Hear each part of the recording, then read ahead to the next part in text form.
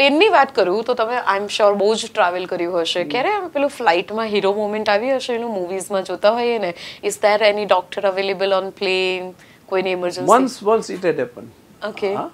Uh, there any doctors in the plane so we were five doctors and the Okay. lady was having a severe acute abdominal pain Okay. we five went together Okay. but it was appendicular pain And, uh, Acha. she was treated accordingly and she became all right within 15 to 20 minutes because all the uh, medicines and the injection all were available into the plane everything was there Okay. but i raised my hand first હા. i am here અને પછી તમે check કર્યું મેં check કર્યું પછી મારાથી પણ senior doctor I give priority to them okay કોઈ એમડી ડોક્ટર છે કે મારા કરતા ઉંમરમાં મોટા છે તો એટલી તો આપણે ડિગ્નિટરી બતાવી છે સાહેબ તમે બરોબર છે. તમે કરી આપો બસ સરસ વાત છે.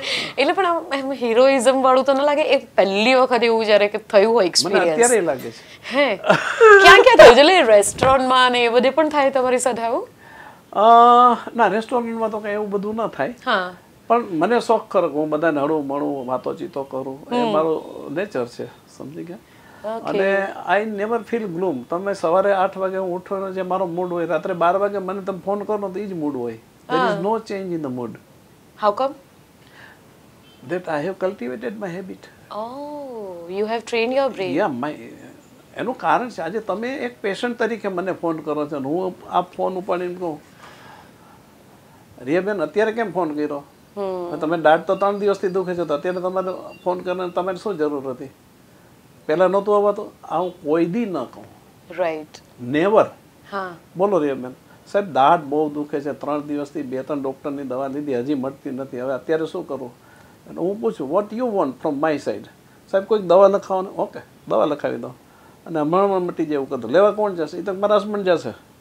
Okay. Do you think this should I come to your home and examine you એ તો તો બહુ સારું. મોકલો કોકને ગાડી લઈને. આવું છું. આવું છું.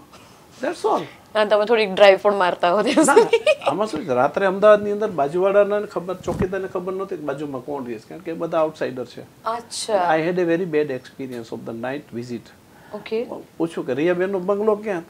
અરે સાહબ હમ તો નાઇટ મેં આતે યહાં બગલ મેં કોણ રહેતા હમકો કા પતા હું તમારા બંગલા પાસે જ ઊભો ને ચાર આંટા મારતો હું ઓ ના સો વેસ્ટ ઓફ ટાઈમ થાય પેશન્ટ હું પણ રિયાબેનને રિયાબેન તમારો કોઈ હોય તો મોકલો તો તમારા હસબન્ડ ને મોકલો. મને આવીને તેડી જાય હું અહીંયા છું. નેક્સ્ટ ટાઈમ નહીં તમને કહું. એક વખત મેં જોઈ લીધું પછી શું છે? So in that I am rendering my services to the patient great